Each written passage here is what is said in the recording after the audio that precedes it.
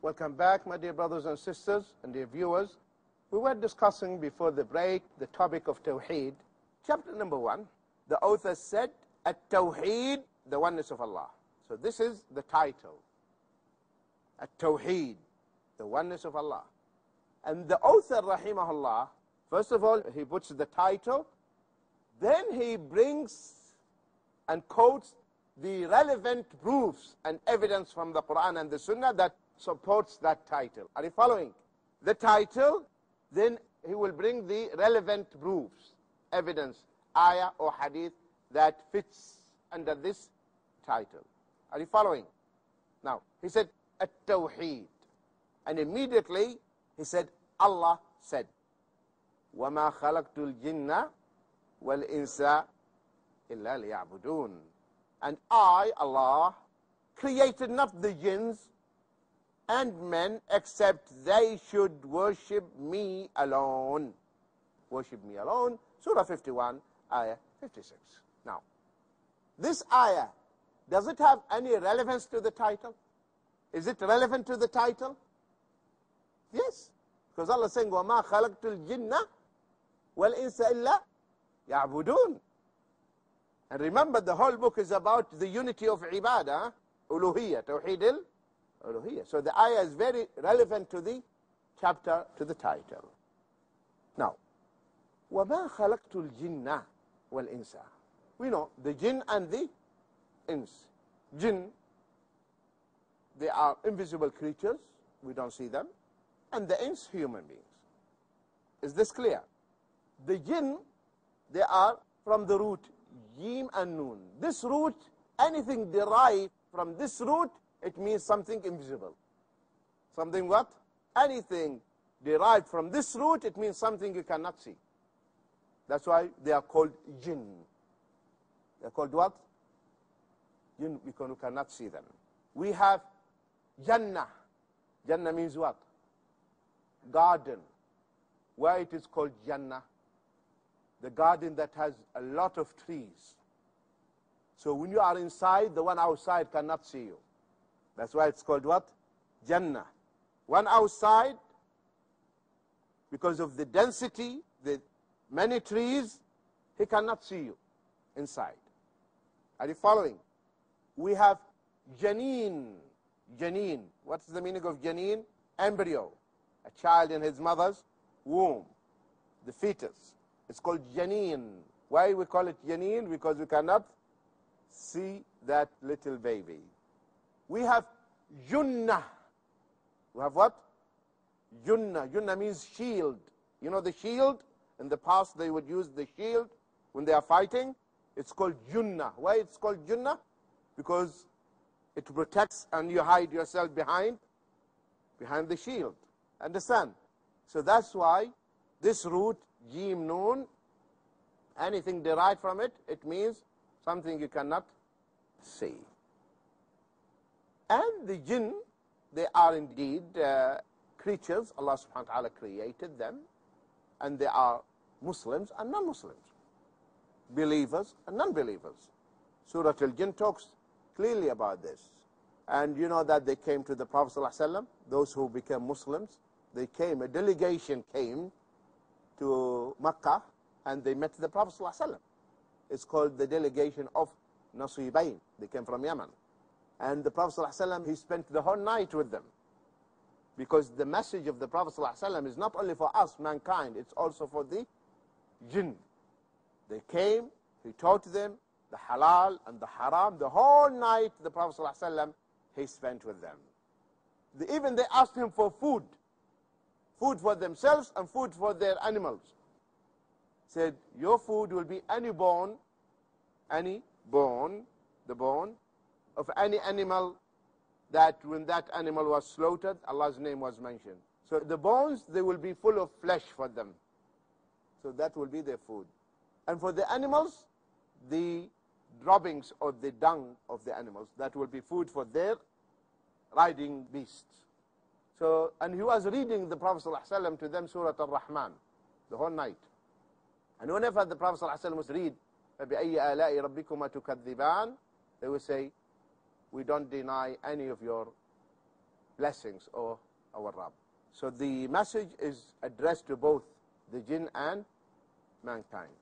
And Prophet Muhammad has told us that the jinn are three types. They are what? Three types. الجن ثلاثة أصناف قسم يطير وقسم على شكل حيات وكلاب وقسم يضعنون ويقيمون معكم. So the Prophet ﷺ said that the jinn are three types, and this hadith is authentic hadith in Sunan Sa'id bin Mansur. He said the jinn are three types. One type, they fly. One type of jinn fly, they fly. Second type, they take the forms of snakes and dogs. And the third type, they dwell with you, they live with you in your houses. So we have three types of the jinn. One type of the jinn, they fly. So if you see someone flying, who's carrying him? The jinn. Because no human being can fly. But when you disbelieve in Allah, then the jinn, they can help you and they can carry you and you can fly. Or you can walk on the water. That's why Imam Shafi'i said, rahimahullah, إذا رأيتم الرجل يطير في الهواء أو يمشي على الماء فلا تصدقوه حتى تعرضوه على الكتاب والسنة. Imam Shafi'i said, if you see a man flying in the air or walking on the water, don't believe him until you check him according to Kitab and Sunnah. Is he following the Quran and Sunnah or not?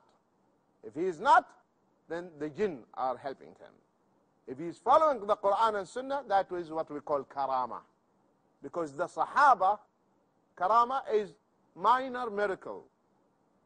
The miracle is called mu'jiza, that is for prophets and messengers.